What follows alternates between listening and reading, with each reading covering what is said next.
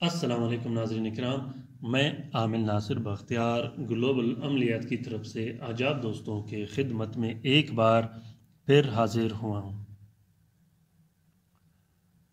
ناظرین کرام یہ نقش جو آپ کو دکھائی دے رہا ہے، یہ نقش خصوصاً ان بہن بھائیوں کے لیے جس پہ جنات کے دورے آتے ہوں۔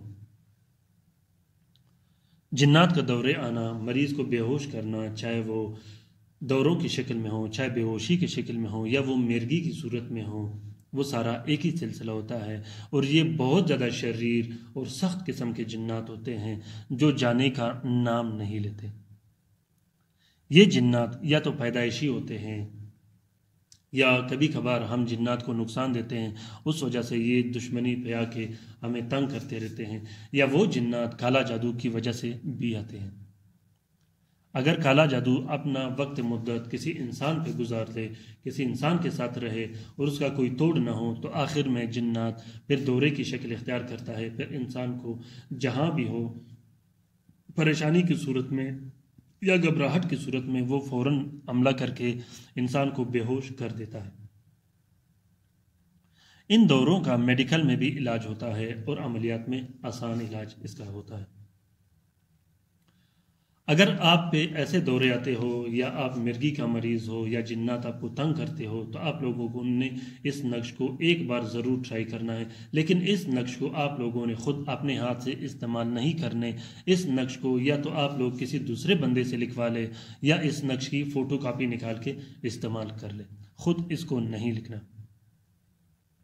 ناظرین کرام، اسی طریقے سے اگر آپ پہ جنات کے دورے آتے ہوں یا آپ پہ کالا جادو ہوا ہو، آپ کے گھر پہ کالا جادو ہوا ہو، چاہے وہ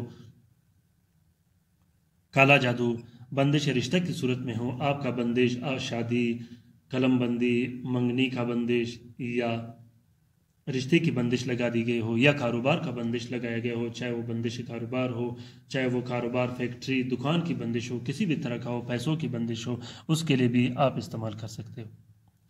گھر میں لڑائی جھگڑے ہو، گھر میں بے سکونی، ٹینشن ہو، اس کے لیے بھی آپ اس نقوش کو استعمال کر سکتے ہو۔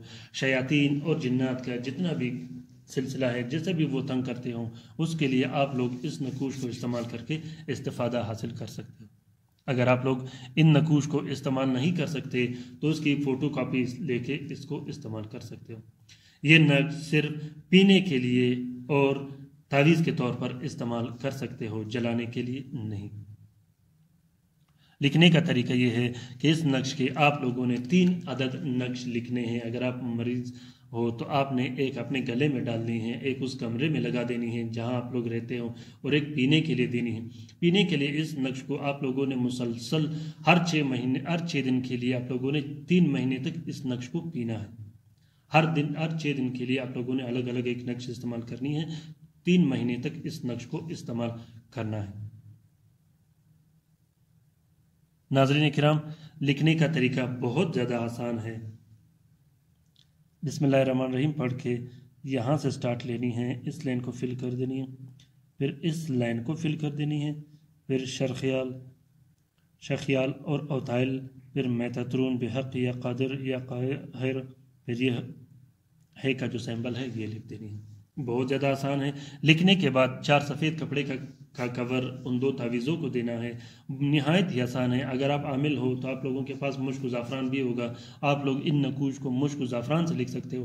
اگر آپ عملیات نہیں کرتے، آپ لوگ ان نقوش کو نیلے سائی اور ارک گلاب سے بھی لکھ سکتے ہو۔ اور اگر آپ بالکل لکھ نہیں سکتے، آپ لوگوں کے دل میں خوف و ڈر ہو، بعض اوقات ایسا ہوتا رہتا ہے، تو آپ لوگ ان نقوش کا فوٹو فرنٹ نکال کے اس کو استعمال کر سکتے ہو۔ فوٹو فرنٹ کے بعد یہ ویسا ہی کام کرے گا جیسا میں نے اپنے ہاتھوں سے ہی لکھا ہو۔